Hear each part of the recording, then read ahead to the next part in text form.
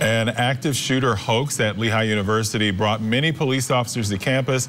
That's one of our top stories today. Officials say a report of a gunman at the school in Southside Bethlehem came through just before 10 last night. There was a heavy police presence with some officers armed with rifles. The threat has since been deemed not credible.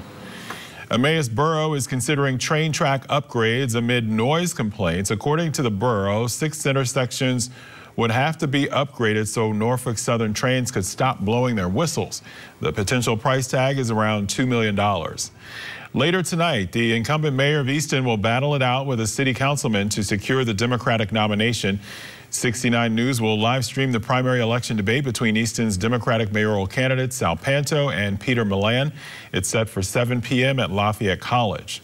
The warmth continues today with partly to mostly sunny skies. Expect highs in the mid 70s today and a return to showers tomorrow.